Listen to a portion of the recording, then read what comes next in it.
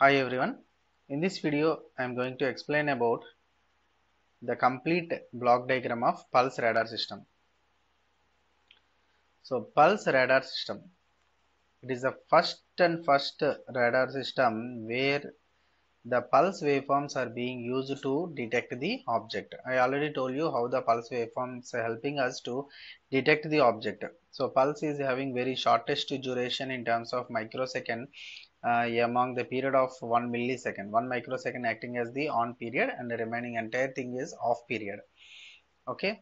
So duty cycle is very very very less 0.001 only so that the target the just waveform is going and hits the target and coming back. Remaining entire period it waits for the uh, received echo signal. Now the first block diagram of this radar system in this we are going to discuss is a pulse radar system. This is the complete block diagram of the pulse radar system. I told you already in the basic principle of a radar system what are the main blocks involved in the radar system? Any type of radar system what are the main blocks in, involved? A transmitting section a receiving section and an antenna. Here it is object. Object is optional okay? So we need a transmitter we need a receiver and we need an antenna. Okay? So transmitter may be different depending upon the type of signal that is being radiated into the free space to detect the object. Okay i already told you i am repeating because if you remember the sections involved in the tra transmitter what is the type of the transmitter then you can easily understand what type of uh, sections we have to include. Okay. So in the pulse radar system in the pulse radar system the pulse modulated signal is being transmitted. In the continuous wave radar system cw radar system is nothing but a continuous wave radar system. What type of signal we are transmitting? A continuous wave. Is there any need of modulation no. What type of signals we need? Only a carrier signal, a continuous wave signal with high frequency that is being generated. So a continuous wave generator we need, that's it. And amplifying it and sending it. Okay, let us consider an FMCW radar where FMCW radar is nothing but frequency modulated continuous wave radar. Nothing but we need a CW transmitter as well as frequency modulated signal also. So so that fmcw signal will be there that signal will be transmitted.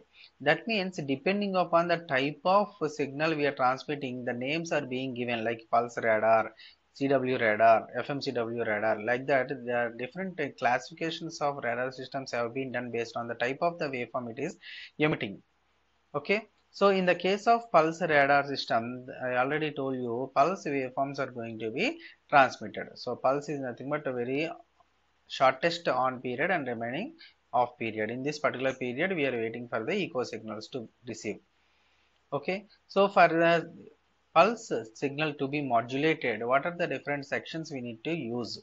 A pulse generator we need, a modulator we need, an amplifier we need. Okay, so here it is the pulse modulator where pulse signal is going to be generated. Pulse signal is generated and waveform generator is nothing but a continuous wave signal generator. Okay, for any modulation, where there are two signals needed. One is a modulation signal, modulating signal, another one is the carrier signal. Here, the a waveform generator acts like a carrier signal the waveform generator acts like a carrier signal where they it is having very high frequency signal. And pulse modulator is nothing but it is a pulse generator. These two this pulse modulated signal and the pulse signal and this cw signal these two are multiplied or nothing but amplified um, modulated together and given to power amplifier. What is the purpose of power amplifier? Power amplifier will increase the strength of the gain of the signal in such a way that it goes to very long distance because what is the range of uh, transmitted peak power? It is in the in the order of 1 megawatt megawatts of power. So that much of megawatts of power can be originated by using uh, can be transmitted or amplified by using these power amplifiers. Okay very high power amplifiers we are using. So because of that high power amplifiers the signal is being amplified and then transmitted to the free space. I already told you what is the importance of duplexer. I told you already in the previous videos, duplexer is nothing but it is a device which is used to separate the transmitting and receiving signals. During transmission, this, this signal will be going only in this direction towards the antenna and the signal will not go in this direction. Okay, the transmitted signal only radiated into the free space through the antenna. It will not enter into the receiver. Whereas the received signal similarly the from the antenna that will be going towards the duplexer and it will not enter into the transmitting section. So there is no connection between transmitter and receiver by using the component called duplexer.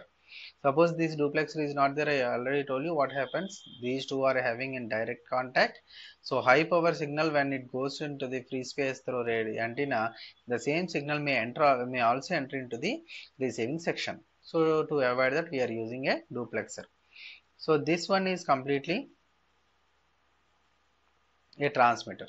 Now this is transmitter. Okay and coming to this point in the receiver all the sections what we have here all the sections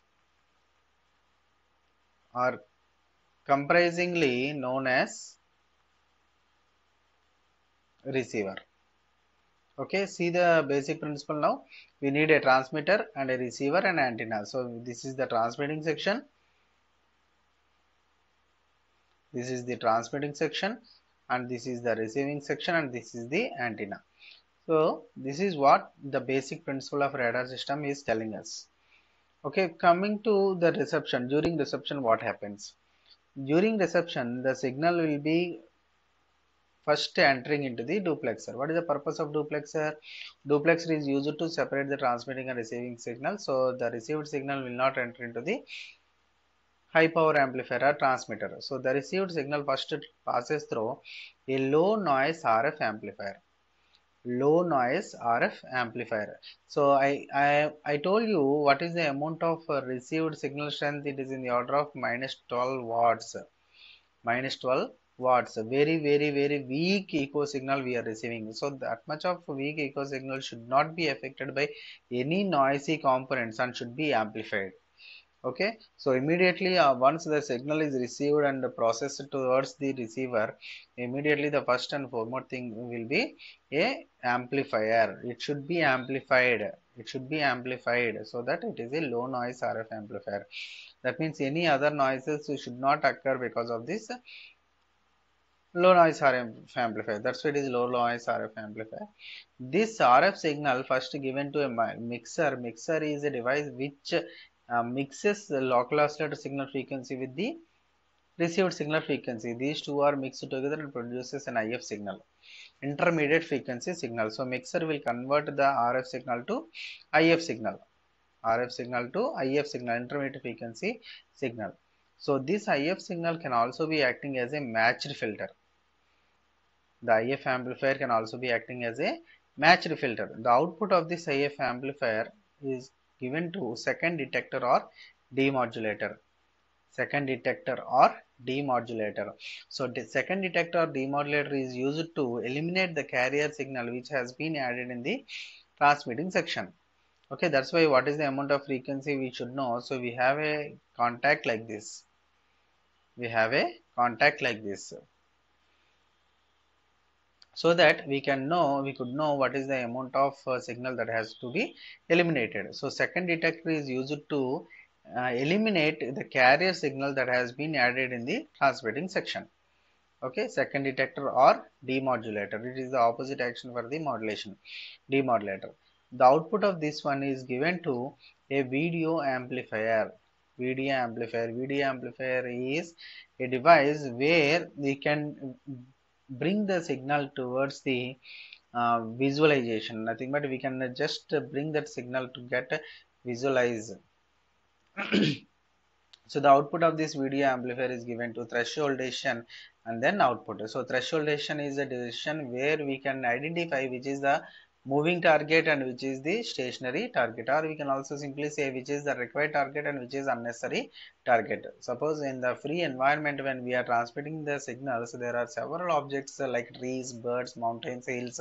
Among all these a few may reply a few may react and uh, collected by the the reflected signal can be collected by the antenna okay? But we actually do not need any such uh, signals like uh, free trees mountains and so on among all of uh, in between all of them one bird maybe there or any enemy's vehicle is there that uh, type of information we need. Okay? So for that we need a decision making device called a threshold decision device. Okay? So this is what the block diagram explanation. The output of this one can be displayed on any a scope display, B scope display, C scope display like that we have and or it can also be we can also display such waveform on the PPI display. PPI is nothing but planned position indicator. PPI is nothing but planned position indicator. So we can use either PPI display or in general we commonly we can use any A scope display. So PPI display how it is generally have, uh, works. This is the way how the PPI works whenever any object is identified at a particular position simply there it shows some blink observe this position. So this is the place where we have one enemy's target so these are the concentric circles which are used to identify position. Suppose the uh, this is the place of our radar system and at a particular distance like 5 kilometers this is the distance and at 10 kilometers this is the concentric circle and it is at let it be 100 kilometers. So at each and every concentric circle is used to identify a particular distance from the radar system center. Okay. So in the PPI display, the points which are appearing on the screen here, those are called known as blips. Those are known as blips. Blips are nothing but a marks identified on the screen. Those marks are nothing but positions of any human beings or missiles or anything. Okay along with this PPI display PPI display is nothing but a circular display. PPI display we are also using an A-scope display. A-scope display these two are most commonly used display units. Okay uh, we also have A B C D E F like that. We have A to P scope displays but we are not using all of them together. We may use PP, PPI display or A scope display. Okay this is what the block diagram of radar system. Thank you